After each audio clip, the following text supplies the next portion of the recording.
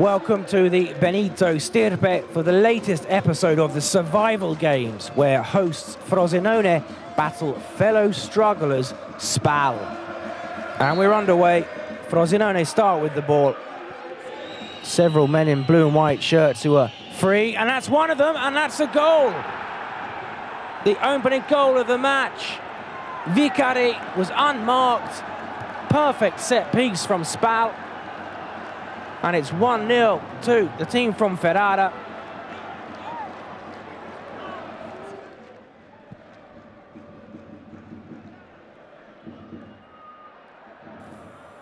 That's rather hasty defending, and it's presented a chance for a shot, and it just flashes past the post there. A very good effort.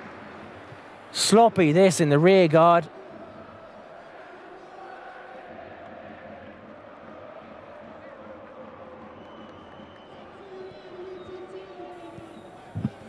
Well, a difficult pass to control, but he did well to control it and went for the shot, and it's only spilled by Viviano. Ciofani is on the follow-up. It's in the six-yard box, and it's cleared eventually.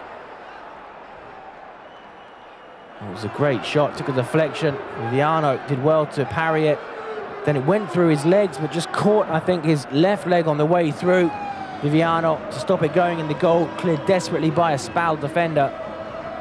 Ciofani there, like a good striker should, following up.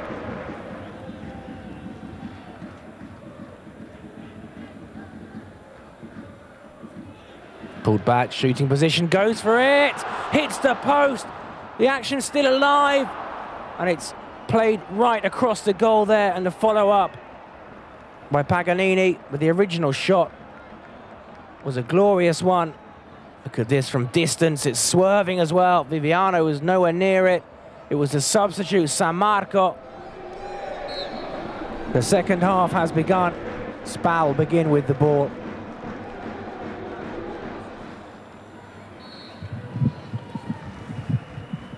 Left-footed into the area, cleared by Petagna. The striker helping out in defence and is scooped back in. This is promising. Oh, that's a wonderful effort.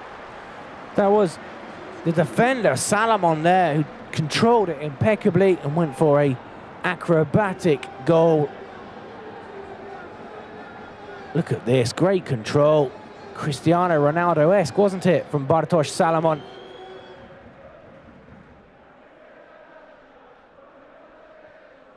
Headed out, but only as far as a player in yellow. And now it's a shot, a firm effort for Valzania, then it's against the bar from Ciofani. Frosinone really got the bit between their teeth in the opening of this second half.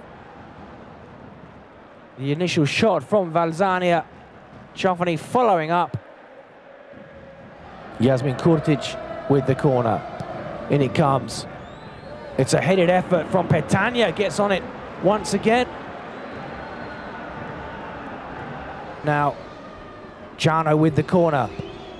Delivery is a good one. It's cleared though by Missiroli, but only as far as a man, the corner of the penalty area.